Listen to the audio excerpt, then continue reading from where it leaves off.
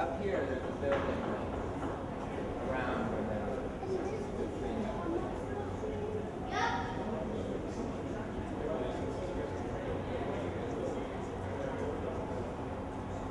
Yes.